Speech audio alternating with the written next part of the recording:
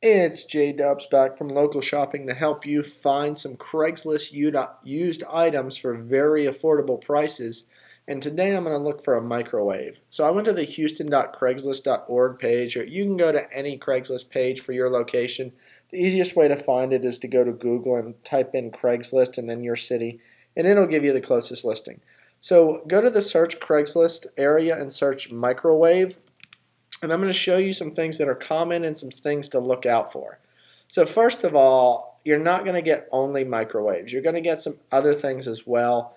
I mean, here's a beautiful baker's rack. I mean, you're going to get a trailer for $10,000.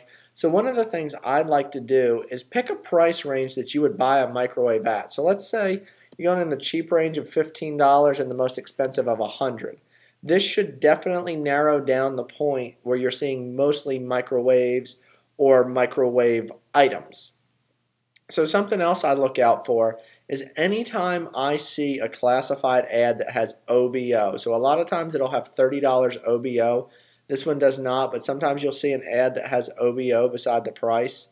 What that tells me is the seller is looking to get rid of the microwave for almost whatever price near what they're looking for. So if they have listed this Emerson microwave at $30 and they're not getting much interest for a while, they may put $30 OBO and if you have $20 cash or $25 cash, you could get it cheaper. You know, when you're talking $20, $25, $30, that's not a lot of money, but saving every little bit helps. So these are just a few tips and tricks I like to use if you're looking for a used microwave on Craigslist go ahead and narrow down your search. You can type in Kenmore, RCA, or GE, or whatever you're looking for, and you're going to find microwaves that are suitable in your specific area. If you have any questions, please feel free to comment below, and please like the video on YouTube if you find it helpful.